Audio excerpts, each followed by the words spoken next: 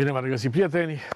Să mai povestim un pic despre micile sau marele spurcăciuni care se întâmplă în lume. Mergem la lumea universitară la noi și trebuie spus, băieți, nu toată lumea universitară este așa, însă este un proverb, ajunge o bâtă la un car de oale. Adică încă un universitar pe lista studentelor, studentelor care încep să vorbească. Uh, s-a întâmplat un fenomen. De la nebunia asta cu Bulai, și au mai fost înainte tot felul de chestiuni, dar au fost cumva evenimentele astea băgate într-o pungă. Că erau vremurile, erau complicitățile și aici au fost complicități, însă aici a intervenit presa. Când spun presă, mă refer la snu.ro. Bun? Și au început oamenii să vorbească. Și să vorbească. Și s-au văzut o grămadă de păienjenișuri de asta, de complicități între instituții și raptorii ăștia uh, sexuali. Pentru că despre asta e vorba. Îți dai seama să-ți trimiți copila la școală, te bucuri că a intrat la facultate și o vezi dintr-o dată tristă și nu vrea să spună de ce. Pentru că de obicei victimele au așa un fel de pas înapoi. Le este rușine. Uh, le este frică nu cumva să le spui că ele îți de vină le este groază de oprobiu la public. Las că știm noi, dragă, de ce-a purtat fustă scurtă sau de ce a existat. Știi? Și există complicitățile astea la nivel de instituții, iar de la SNSPA, instituția aia, marea facultate, tot felul de chestii, ar trebui să existe mai mult decât un, decât un comunicat, cum că i-am retras ăstuia lui Bulai toate activitățile didactice. Nu, băiate, eu vreau să știu ce s-a întâmplat cu, uh, cu acea petiție semnată de 600 de fete, de studente, imens pentru o universitate, prin care se cerea foarte clar, foarte clar se cereau atitudini împotriva ăstora, obsedațiilor ăstora sexuale. Și am văzut încă un lucru. Am văzut că afară e vopsit gardul și înăuntru sunt leoparzii aia care dau bine la televizor. Și vă arăt, am scris acolo, Pieleanu ai emoții. Este vorba, da, de domnul la Pieleanu, pe care îl vedeți toată ziua cu sondajele, cu nu știu care. Și atenție, înainte de a da uh, citire mesajului, uh, domnul Pieleanu are dreptul la în replică. Vrea să vorbească, să vorbească. Noi luăm ambele părți. Ia uite. Carmen Dumitrescu scrie un lucru despre doamna Miroiu, că vă spuneam de Garci Leopard. Doamna Miroiu e acea uh, doamnă cu dămare care vine să ne spună despre feminisme, despre civilizație, despre lucrurile frumoase care ar trebui să se întâmple în țara noastră, în lumea noastră. Am citit cu mare surprindere o postare a doamnei Miroiu, care susține că n-a știut nimic despre abuzurile sexuale de la SNSPA. Pentru că eu personal, zice Carmen Dumitrescu, cunosc pe cineva care i s-a plâns de comportamentul altui profesor, poate mai prădător decât Bulai. A intervenit însă comentariul unei foste studente a doamnei Miroiu, chiar la postarea domniei sale. Un comentariu care n-are cum să nu te miște din temelii. Și citindu-l, întrebați-vă din nou de ce n-au făcut studenții nimic. Păi uitați de ce. Și aici urmează acel mesaj. Doamnă profesoară Miroiu, v-am îndrăgit mult, tare mult. Erați așa cum mi se părea mie că trebuie să fim noi toate fetele și femeile, în urmă cu mai bine de 20 de ani. V-am ales și ați acceptat să fiți coordonatoare de lucrare de licență, master, apoi doctorat. Sorbeam fiecare cuvânt pe care ni-l spuneați la cursuri sau în discuțiile amicale.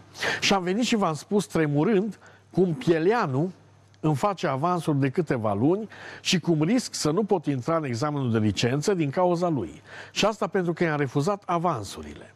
Eram între primii 10 studenți din an, bursier în toți cei patru ani. Mi-a cerut răgaz să vorbiți cu el, apoi mi-a spus că trebuie să merg și să rezolv asta între patru ochi, că nu puteți interveni în relația profesor și student.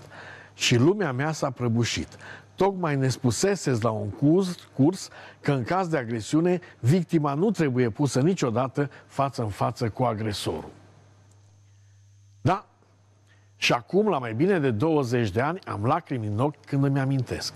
Și stare de vomă când îl văd pe ăsta la TV. Ați știut. Ați știut și după câțiva ani, când am venit să vă spun că nu scap de furia lui, că încearcă să mă vorbească de rău pe unde întâlnește oameni care mă cunosc, că strigă injurii după mine pe stradă când ne întâlnim întâmplător. Ați știut. După acest comentariu, zice Carmen Dubițescu, doamna Miroiu a șters postarea proprie sau a limitat audiența ei.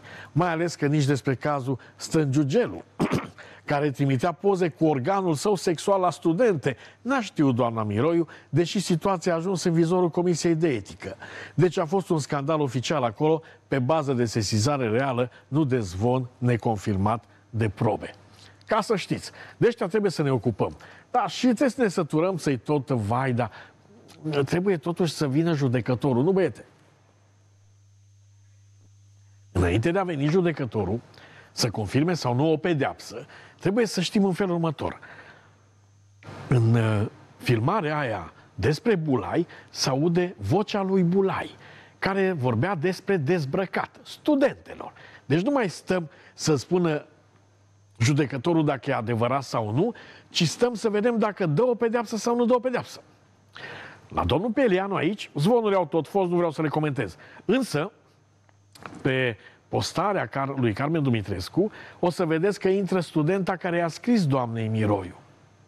Și o să mai fie, o să mai fie astfel de știri, pentru că sunt mulți băieți. Sunt mulți și fac praf și pulbere onoarea, cinstea, dacă vrei, educația celor poate și mai mulți, sper că și mai mulți din universități, care chiar s-au dus acolo ca să învețe niște copii să fie oameni.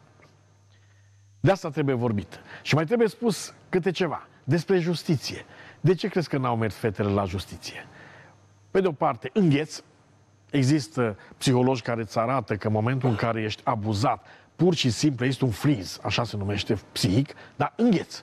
Ești ca în fața unei cobre. Pur și te anesteziază prin forța cu care te calcă în picioare. Și pe de altă parte, neîncrederea în justiție. Și vă dau două exemple. Eu cunosc un caz la Târgu Mureș. Doamnă, soțul pleca la lucru, dincolo, uh, mediu intelectual, uh, doamna cu doi copii acasă, uh, la un moment dat, unul devine obsedat de ea. Nu l-a cunoscut, nu i-a fost iubit, nu l-a fost vecin, habar nu avea. Venea seara și bătea în ușă să-i dea drumul, că el o iubește, că dacă nu iubește o să o omoare, că să moară cu ea de gât, etc ani de zile, vreo doi ani de zile, a durat până s-a ajuns în justiție să-i dea ăluia un ordin de restricție. Nu l-a respectat niciodată, n-a pățit niciodată nimic. Pentru că justiția a spus, ok, am pus ștampilă rotundă, ordin de restricție. Atât. În loc să-l ia poliția. În loc să-l bage la pușcărie, că dacă nu respecti totuși o hotărâre judecătorească, mergi la Bulău, era să zic Bulai. Ok? Nu s-a întâmplat nimic. Și atunci, exact ce îmi zicea mie Uh, uh, cunoștința asta. Băi, ce așteaptă ăștia să, să angajez doi ucrainieni să vină să mă păzească, să-l bată pe ăsta, să, să-l lase în sânge? Nu pot să fac așa ceva. Aș încălca legea. Dar legea nu era de partea ei. Legea a zis, gata, fată, ți-am dat uh, țădula, la revedere, pa. Vă mai dau un exemplu. L-ați văzut la știri. Poate n-ați băgat de seamă. Primar din Olt l-a bătut pe unul că de ce filma când îl bătea pe altul. Ok? Uh, l-au ținut, uh, l-au pus acolo la păstrare 24 de ore. Și știrea care Nu este asta știrea, băieți. Știrea este că acel primar, votat de comunitate, a mai omorât în bătaie un om acum nu știu câte, câți ani. Știi cât a primit de la justiție? Pușcărie. Deci, bă, om care a murit în urma bătăii. Primar din Olt. 10 luni de pușcărie. Păi cu justiția asta, tată, despre ce vorbim? Am văzut și comentarii. O grămadă de libidinoși care urlă împotriva fetelor care au început să vorbească. Dar vă dau un sfat. De câte ori se întâmplă aia, aveți presă, îi mâncăm de vii. Nici rahat de analize nu le mai rămâne fetelor. Dați-ne telefon, că mergem cu voi la poliție și mergem și facem, că avem gură mare, noi suntem gazetari, mai chelioși, mai ochelariști, dar mergem și facem gură mare și atunci polițistul de voie de nevoie o să facă ceva. Mergem la justiție și o să gura mare, deci să meargă presiuni. O să facem presiuni, da, sună extrem de urât. O să facem presiuni pentru justiție, în fața instituțiilor de justiție, pentru că vreau să văd ce pățesc ăștia. Este clară filmarea, da? Se aude în clar cum tovarășul ăla de la SNSPA îi cere fetei să se dezbrace. Să vedem ce o să facă justiția. Că SNSPA au zis și-a depus cerere de pensionare. Și ce înseamnă chestia asta? În momentul în care ai aprobat-o, ăla nu mai are nicio relație contractuală cu tine, deci tu te-ai spălat pe mâini, te prefaci că, domnule, nu știam, vai, dar ce surpriză, deși fetele au cerut an în șir să existe în Comisia de Etică astfel de lucruri, să se modifice pur și simplu regulamentul ăla de etică. Funeriu a propus într-o lege dar evident, de ce să-l ascultăm pe Funeriu? Că ne enervează Funeriu. Ne-au pus camere de luat vedere să nu mai copiem. Aoleu, ce distruși moral suntem. Nu? Și în momentul ăla nu mai are nicio formulă contractuală cu ăsta, la alt, ă, o să fie chemat, dar au intervenit procurorii, spre cinstea lor, care au zis, știm că multe victime au un sentiment de, de teamă, de rușine să, să fie făcut numele public. Aveți aici o adresă de mail. Scrieți! Scrieți despre toți, nu numai despre ăsta Da? Scrieți tot, tot, tot, tot, tot, măcar îi iau la, la întrebări. Măcar ăia care ar fi dispuși să intre în universitate numai pentru că, da, domnule, intru în universitate, acolo sunt o grămadă de fetișcane, mi-aleg, fac, dreg, obsedații ea sexuali, da? o să aibă în sfârșit un bec aprins. Un ceva aprins. Niște măgari. Eu mă întreb, bă, dacă apucați pe mâna vreunui tată furios, păi ce o să vi se întâmple, tată? Exact cum scria un comentariu, băi, tată, pentru copilul meu fac și pușcărie, îl las în scaun cu rotile. Sigur că nu este un apel la violență. Dar, dar, m-aș gândi. M-aș gândi la asta. Pentru că, Doamne ferește, să vină fică ta plângând la școală că i-o pusă la mâna pe nu știu ce. Pe momentul ăla am spart ușa instantaneu, așa o să spună orice părinte, și am dat cu ușa în cap. Apoi că s-a lovit, că eu căzut meteoritul, nu știu, domnul polițist, că eu nu eram din satul ăsta. Asta o să se întâmple. Și atunci va fi o revanșă contra revanșă tot timpul. Dacă nu intervin instituțiile, statul ililili, da? Pentru că îi prinde proști în statul ăsta și prinde proști care votează proști. Trimiteți copilul la facultate, așa, la SNSPA. Să-ți vină ăștia să spună, vai, dar n-am știut. Domnul Pieleanu, aștept un drept la replică. Că va trebui să dai un drept la replică. Să zici, mă, că, domnule, nu e adevărat, eu, eu eram sfânt acolo, eram cu Arsenie Boca la masă și treceau într-adevăr fete la stadion. M-am uitat în altă parte. Doamne ferește, Doamne miluiește popa plin de pește. Da? Mergem mai departe, tata. Ca să vedeți ce pregătesc. Asta nu e o țară, asta e o conjunctură, eu v-am spus de multe ori. Am vrut ăștia să mă aresteze când mi-a spus că m-am săturat de țara asta. M-am săturat de țara asta nu de munți, câmpii, oxigen și faună. Nu. M-am săturat de proștii din țara asta. Profit.ro Breaking news, profit.ro Document. Guvernul pregătește majorarea impozitului pe dividende la 10%, impozitarea altor forme de capital, eliminarea stimulentelor fiscale în construcție. O venit Ciolacu și a zis sunt supărat pe colegii care nu se consultă cu el înainte. O venit și Boloș și să spună, domnule, e un document mai vechi. Acum, cât de vechi poate să fie documentul ăla dacă este deja mărit impostul de la 5 la 8%, da? Și se vorbește de vreo două luni de dividende mărite impozit la, la uh, 10%. Cât de vechi poate să fie? Poate era de-a la altă ieri și vechi. Ce să spui? Da? Și eu întreb așa, mă, dacă vreți să măriți impozitele, că vreți bani, ă, poți să le mărești, dar trebuie să pui ceva și în partea altă. Pune măcar onestitate publică. Pentru că, uite, îți spune mândruță, foarte fain zice Luciana. Ciolacu vine în septembrie cu un plan de redresare fiscală care va elimina din excepțiile la plata taxelor. Foarte bine. Păi dacă eliminăm excepțiile, băi Marcele, ce zici tu de uriașele excepții numite pensii speciale? Sau n-ai voie să deschizi discuția? Pune mare pe ful.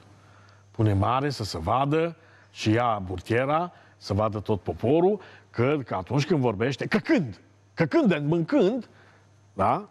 A spus ghilimele, când se vorbește despre excepții, ar trebui să vorbim și despre excepțiile uriașe, numite pensii speciale. Sunt oameni care au câte patru pensii speciale, tată. Patru. Patru, bă. Pensie specială de acolo, de acolo, de acolo și de acolo, plus pensia care vine cumva așa naturel. Da? și au zis că n-au mărit taxe.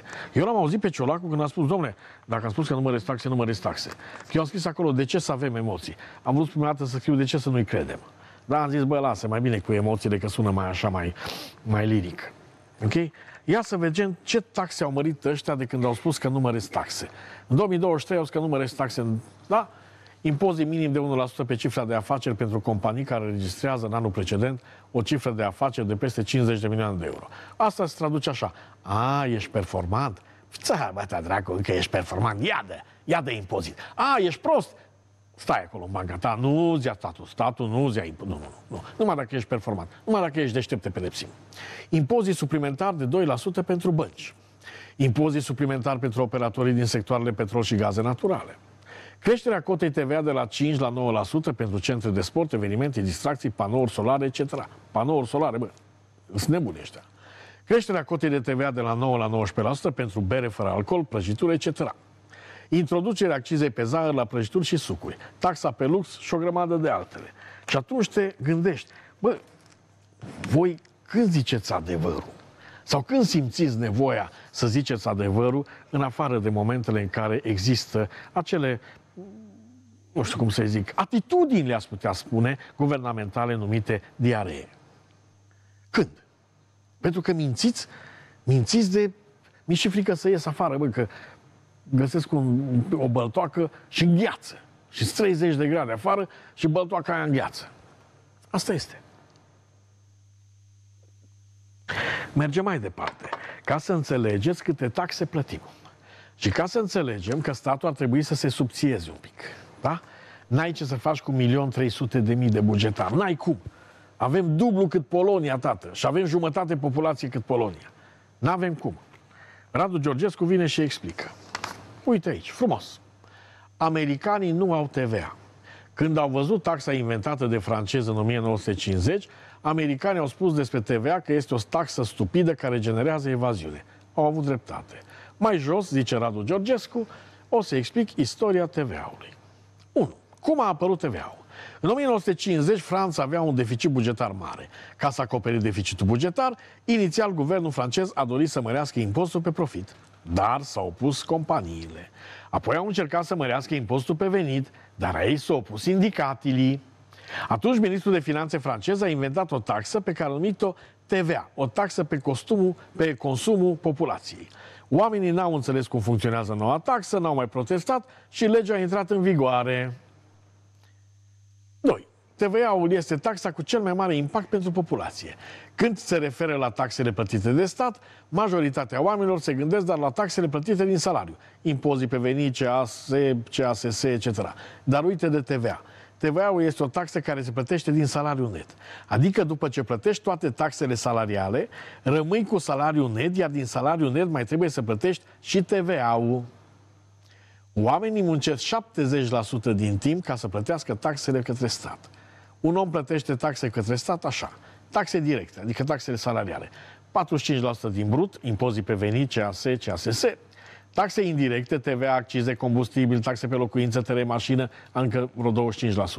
Asta înseamnă 70%, asta înseamnă, lucrezi din timpul ăsta ca să plătești taxele la stat. Metaforic vorbind, într-un an de zile muncești de la 1 ianuarie până la 30 august ca să-ți plătești taxele la stat, la stat român. Iar de la 1 septembrie încep să muncești pentru tine ca să plătești rate la bancă, întreținere, etc. Dacă mai rămâne ceva, folosești banii pentru tine, îmbrăcăminte, vacanțe, etc. Soluția. Într-o lună de zile s-ar putea implementa sistemul american. Americanii au o taxă aplicată comercianților care se numește sales tax. Este foarte ușor de urmărit. Iar evaziunea este zero. Că noi ne-am dus după socialismele franțuzești din anii 50, tată. Din anii 50. Atunci, prima dată, știu din istoria TVA-ului, ministrul de finanțe a domnule, nu putem face chestia asta, că ne sare poporul în cap și l-a dat afară pe prostul ăla de la finanțe. Înțelegi? Nu era ministru, era un șmecheraș. Da? Și după aia când au văzut că n-au bani, de anii 50, comunismul era extrem, extrem de puternic în Franța, aveau 600 de mii de, de, de, de membri numai cu carnet, dar minte la voturi, la 25%, de gol au zis, bă, gata, hai că vă dăm 25% din Parlament, vă dăm guverne, vă luăm la guvernare, Și presiuni, tată, că comunismul așa face, socialismul așa face. Dă-ne bă bani, dă-ne bani. Mă, nu contează că n-aveți mie să-mi dai bani. Și nu cumva să te atingi de sărântoci sau de ăia care n-au chef de lucru. Că acolo deja ne, ne supărăm. Bun? Și când au văzut presiunile astea, l-au chemat înapoi. Și el a fost foarte bucuros și a zis, băi, stai un pic. Nu lua numai de la unii. Trage-le la toți.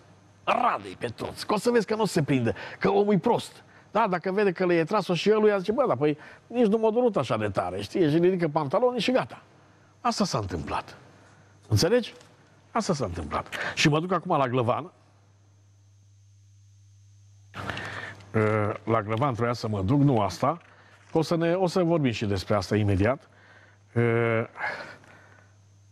Și Bogdan Glăvan explică într-un... Dar nu, cred că o să-l... Nu, o, să, o să dau săptămâna viitoare sau să vă zilele astea, pentru că vine Bogdan Glăvan și ne arată încă o nemernicie și o și explică. Știi cum o explică? Băieți, fii atent la ăștia. Dacă lucrezi cu fonduri europene, îți mai dăm încă 50% la salariu, dar să fie acolo prin instituții de stat, ca și cum zicem, bă, dacă ești prost și nu știi, uite, măcar ia salariu. Da? Noi cu fondurile europene stăm foarte prost. Foarte prost. Am stat întotdeauna prost pentru că nu știm să scriem fără să băgăm mâna. Înțelegi? Că fondurile europene vin așa. Domnule, ce vrei să faci? Păi o autostradă de aici până aici, vreau să bag canalizarea în asta 500 de sate, uh, uite, m-am gândit la niște piste de biciclete sau irigații sau așa mai departe, uh, m-am gândit să, să fac, ok, uite, spitale regionale și Comisia Europeană zice, bă, e perfect, uite, banii, nu ne trebuie să dai banii înapoi, dar să nu furi. Și în momentul ăla deja s-a schimbat situația. Că a venit politicianul român și a început. nu a zis, bă, noi vrem să furăm. Nu îndrăznește, știi? Că vine Căveși și îl trântește de toți pereții. Vine cu textul ăsta. Nu avem capacitate administrativă. Dar, boule, cine trebuie să facă capacitatea asta administrativă? Ăsta este un fel de Băi, de la ăștia nu se poate fura de la europeni, că vine Olaful peste noi, dar dacă punem, bugetăm noi din bugetul nostru și acolo nu trebuie să fie asfaltul atât că se ai, bine și așa, vedem noi cum ne descurcăm, nu avem capacitate administrativă.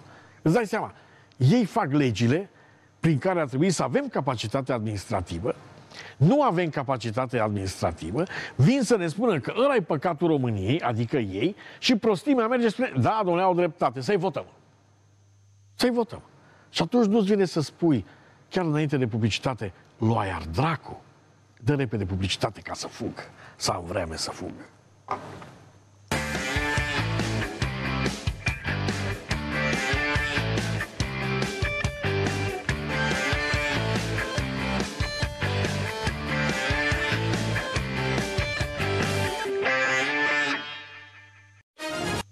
Așa și mergem la vindecători, că ați văzut că sunt la modă. Sunt la modă salvatorii ăștia ai planetei, salvatorii de la Patria sunt la modă, sunt la modă ăștia care salvează universitățile din Șliț. Și atunci mergem să vedem de ce nu se vindecă totuși România. Băieți, există niște lucruri care musai, musai trebuie puse pe tapet. Sigur că lumea o să spună, hai bă, lăsați-mă cu securiștii. Epoch Times, România.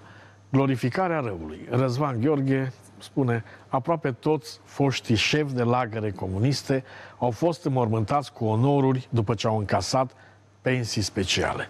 Deci, bă, ăla au bătut și au schingiuit după Revoluție pensie specială și după aia, când o murit, l-au luat dracu în sfârșit, da? Onoruri militare, tată. Și asta pentru că România, de fapt, nu avea niciun chef să se despartă de comunism. România a avut chef să desparte de Ceaușescu, că nu da ferie mai groasă de Paris, era tot. Bă, ăștia pe care îi vedeți acum, aveți impresia că ar fi murit de foame în comunism sau ar fi murit în pușcării? Vai, bă, fi serios, bă. Ăștia ar fi fost niște ciumpalași de aia care ar fi mers în ședințele de partid, ar fi votat, ar fi spus despre uh, drumul României spre cele mai înalte culmi. Așa ar fi fost. Niște nei ca nimeni. Și hai să cităm. Ia uite aici. La sfârșitul săptămânii trecute a fost înmormântat cu onorul militare un fost spion român, Caraman. Nu orice spion, ci un spion comunist care a reușit în anii 60 să dea o puternică lovitură NATO, transmițând rușilor date strict secrete. Mai mult a avut și calitatea de lucrător al fostei securități comuniste, fiind implicat în urmărirea deținuților politici. Bă, onorul militare, suntem tâmpiți. Mai mult. Pleșiță, fost general de securitate renumit pentru sadismul lui, a murit într-un sanatoriu al serieului. A fost înmormântat cu onoruri, la fel Gheorghe Enoiu, supranumit măcelarul de la interne. Gheorghe Pintilie, fost agent sovietic și șef al securității în anii 50, a fost înmormântat cu onorul în cimitirul Ghencea. Hai să vedem dacă suntem normal la cabă. Deci noi încă, țară NATO, da? Moare dobitocul ăla, spion sovietic, de Karaiman, și ăștia îl îngroapă cu onoruri militare, cu o flendurit NATO și-o vândut secrete rușilor. Suntem idioți. Da? Și fii atent, Caraman ăsta sau Caraiman sau cum mama dracului îl chema, Ăsta după 90 a fost făcut uh, șef peste tot, uh, era prin Ministerul de Interne, uh, a fost și ministru, mi se pare, la apărării, pus de Iliescu, pus de Roman. Adică, bă, noi, noi cred că suntem îi mai tâmpiți oameni din Occident.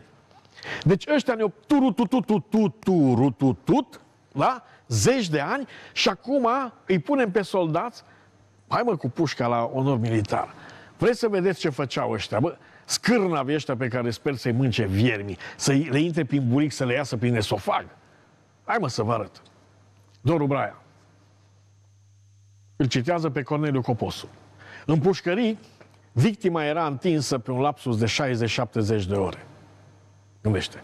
Anchetatorii se schimbau în ture, numai victima rămânea pe loc. Când adormea era deșteptată. Întrebările se înfigeau ca niște cuțite în creiere amorțiți. Specialistul în bătaie era un ins de vreo 100 de chile, un adevărat goliat. Te apuca de păr și te izbea cu capul de ziduri, neeconomisind palmele, pumnii și mai ales călcarea în picioare. Erai bătut cu cerceaful ud, cu saj de nisip peste piept, cu ranga la tălpi, după ce ți se legau mâinile de glezne și se strecura o țeavă metalică printre ele, sprijinită de două mese, tată. Așa erai strivit la rotisor. Loviturile se repercutau în toate vertebrele. Simțeai că ți se desprinde calota craniană. Sau loviturile erau date cu vâna de bou. Cumplită era electrocutarea în celule în care stăteai în apă. Mulți își încheiau perioada de anchetă fără dinți. Față de sacrificiile pe care le-au făcut eroii, niște bieți ani de pușcărie contează mai puțin.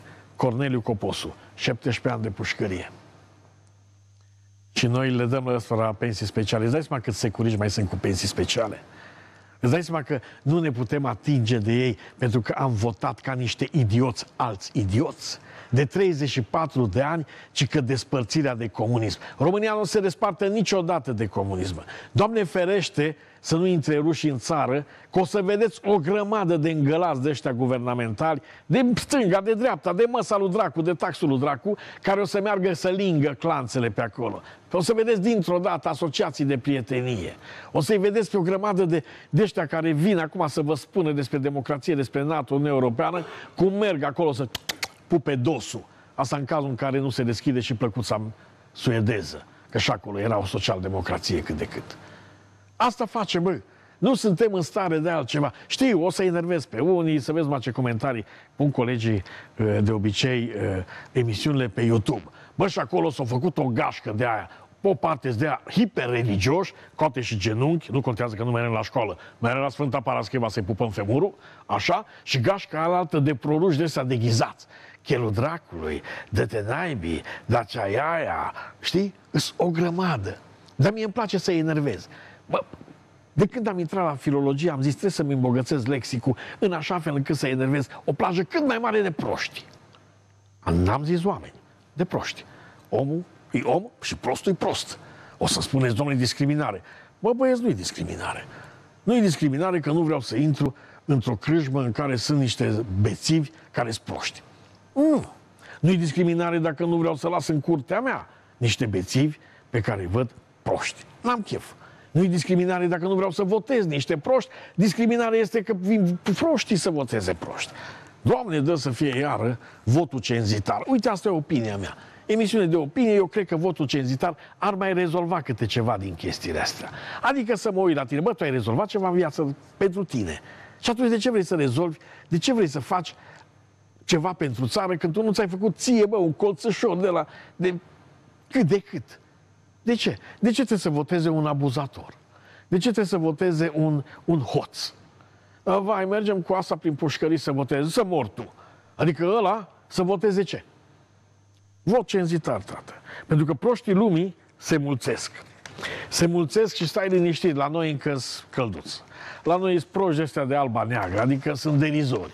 Noi numai asta să știm, să facem o istorie derizorie, prezentă, așa mai mult, ca un fel de mamă vitregă pentru noi. Care se uită la noi și zice, bine mă copile, cu muci la nas, ia o pită cu un soare și băște aici.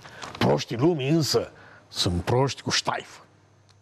Adevărata față a Frifri Palestine ți-o arăt acum, tată. Uite aici.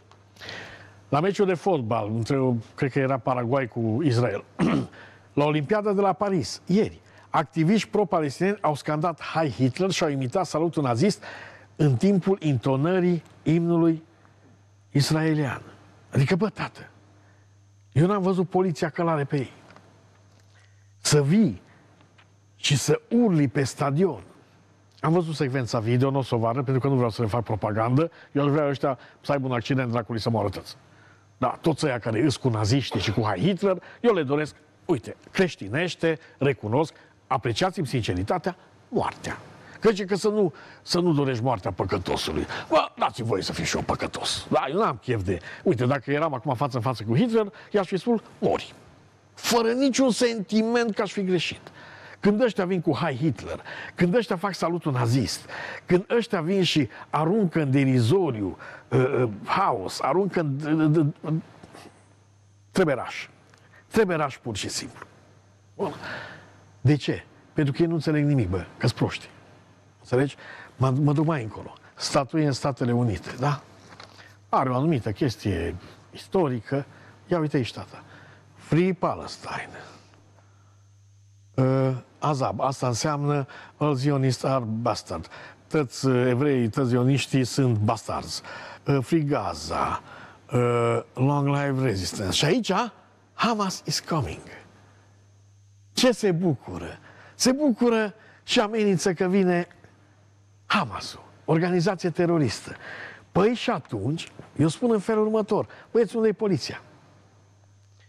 În mod normal și în mod evident, toate țările au legislație împotriva extremelor. Mai ales când este vorba de antisemitism, de hitlerism, de nazism. Eu n-am văzut la meciul ăla, păi opream, aș fi oprit meciul, pur și simplu, și ziceam, băieți, să vină ăia călare, polițiștii călare, îi luați pe ăștia toți, îi băgați în cătușe. Asta este, te-am văzut pe camere că urli, faci salutul nazist și băgați trei luni la pușcărie. La revedere. Și nu numai atâta. Când ești de la pușcărie, ți se dă nota de plată. Băiete, te-am ținut în pușcărie. Nota de plată. Măcar 1000 de euro pe zi. Și atunci ea e liniștit. Dar nu, că deja s-a părat de stânga, a nu se confunda stânga aia capitalistă tâmpită care începe acum să se vadă cu socialdemocrația. Stânga deja a venit să ia apere, vai, dar cum puteți, are dreptul la exprimare. Are dreptul la exprimare? Are dreptul să urle Hai Hitler? Are dreptul să bage în derizoriu, să arunce în spuma istoriei, în greața istoriei, un holocaust? Bă, băieți, pentru chestia asta trebuie raș. Pur și simplu, băgați în pușcărie. Ăștia cu Hamasul, da, asta e adevărată față a Free Free Palestine. Free Free Cotcodac, mie vine să mă duc în rimă. Da? Asta e adevărata lor față. Niște naziști împuțiți.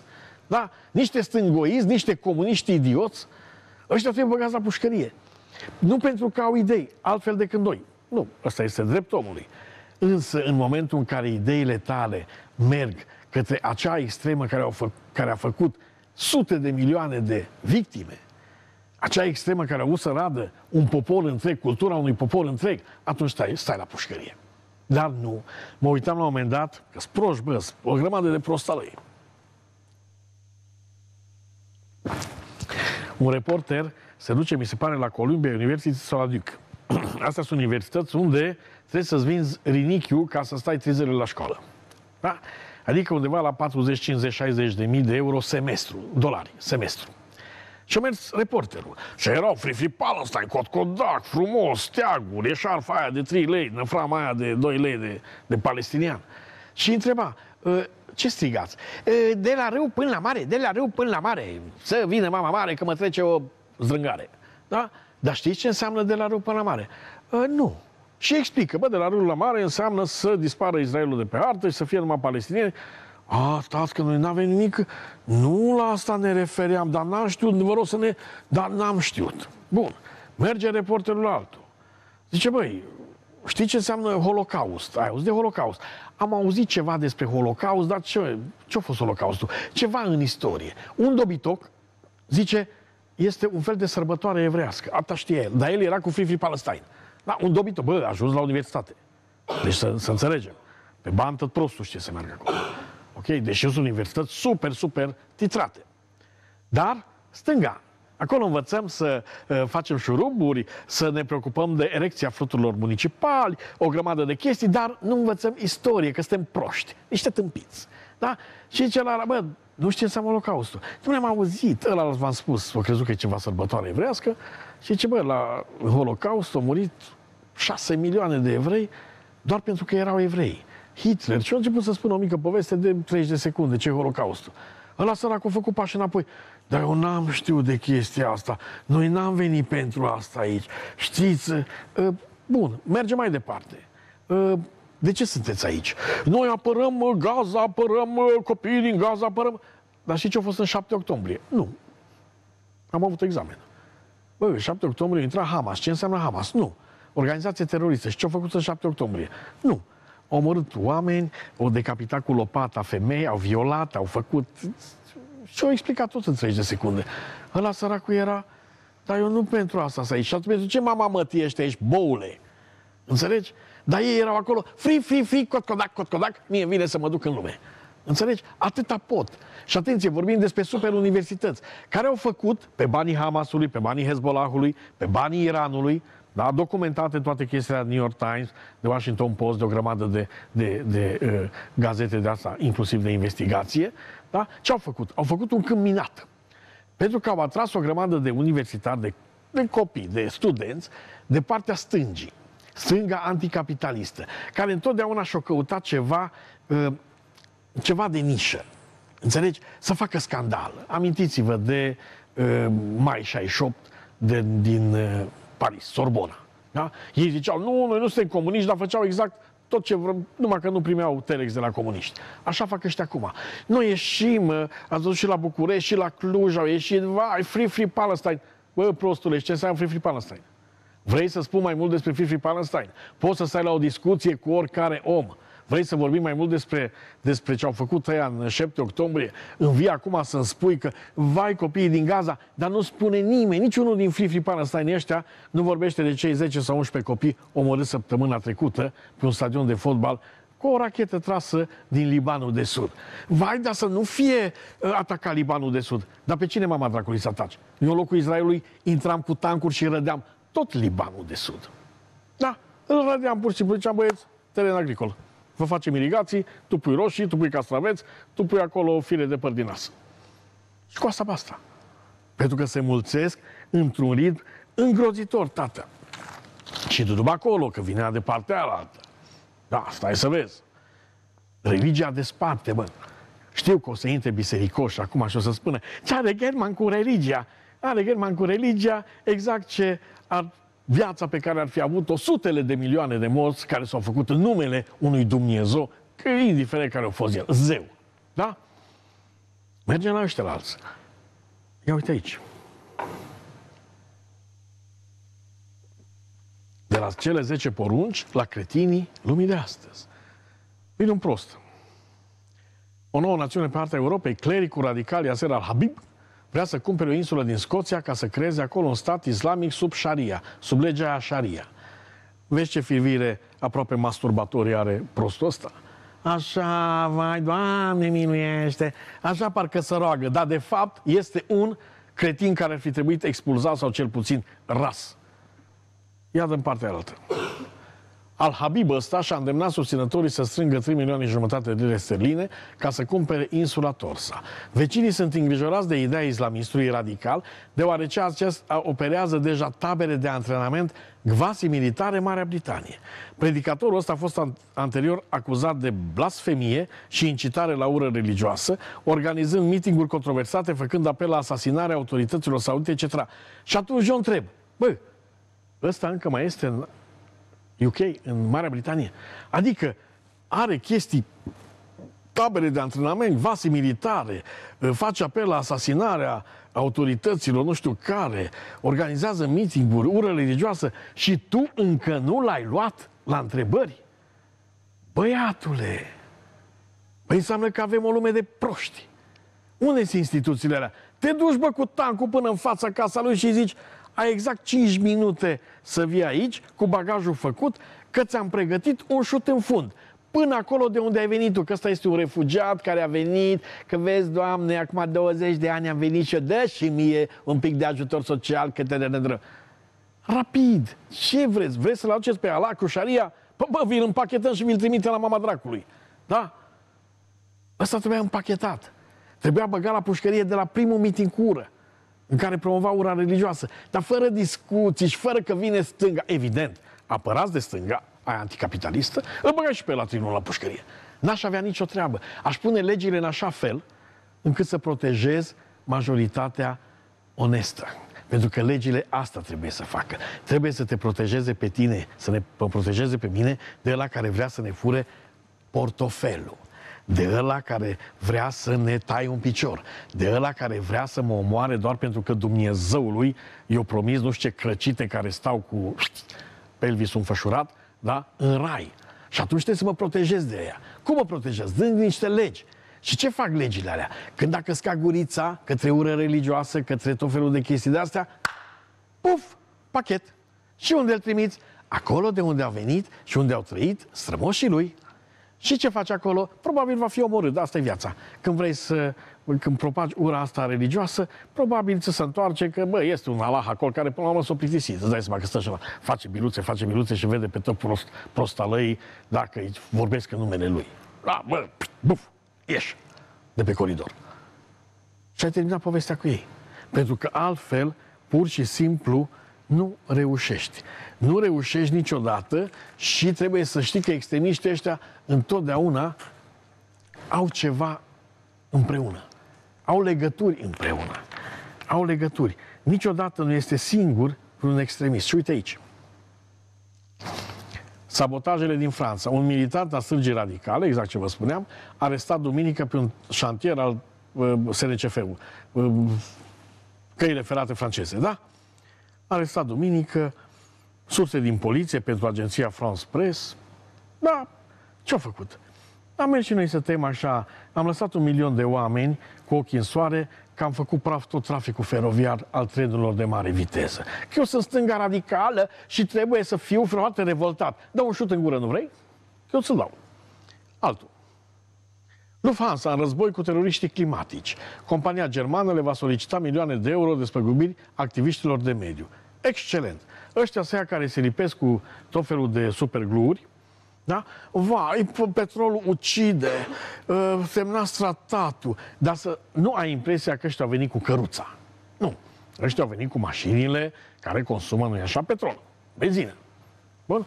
ce foarte bine? Că se trezește lumea.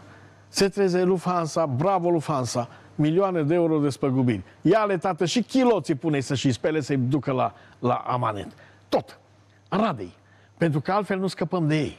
Sigur că o să sară tot felul de chestii, de Greenpeace-ul de astea de 2 lei de cartier, să facem, să adunăm fonduri. Adunați, bă, fonduri, măcar îi întrebam la stat. Hai, haide și în România. Și în România ar fi trebuit la fel.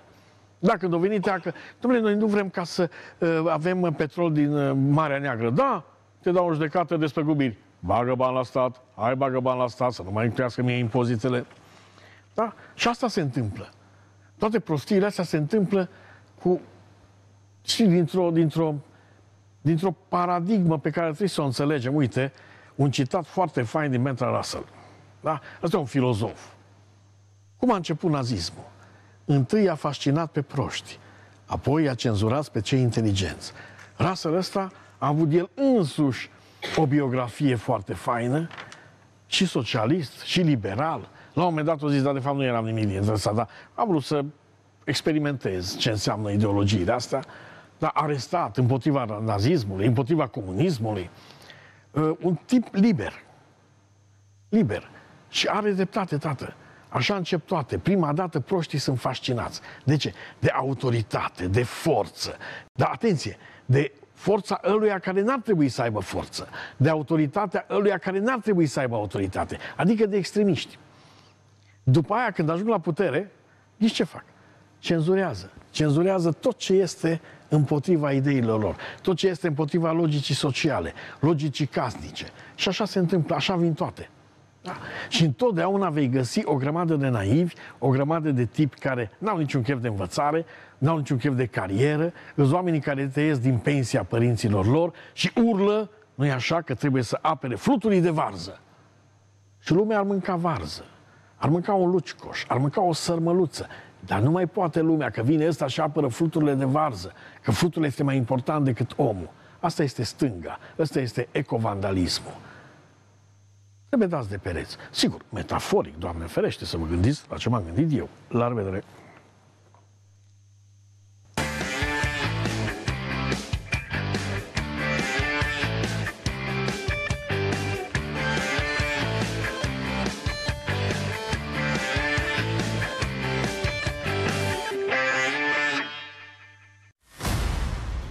Program disponibil pe primaplay.ro